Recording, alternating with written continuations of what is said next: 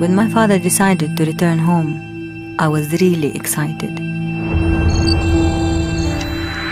I thought he was taking me to the most amazing place in the world.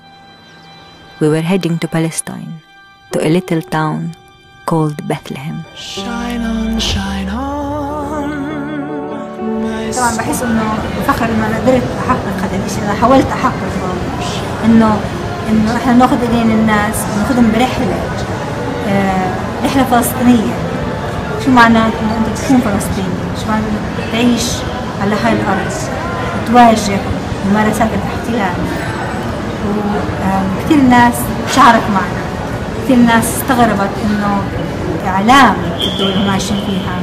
مش عم نغطي حدث بهذا الحجم بالشكل اللي هو بيستحقه فكثير من الناس يعني تواصلت معنا.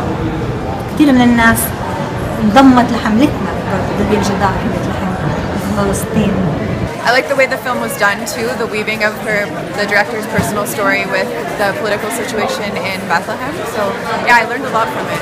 الفيلم الصراحة رائع والقضية اللي عم يتداولها فعلا نحن كلنا محتاجينها وأنا عجبتني كثير فكرة إنه إجت لأنه كأنه فلسطين إن شاء الله ما تكون ضاعت قضيتها.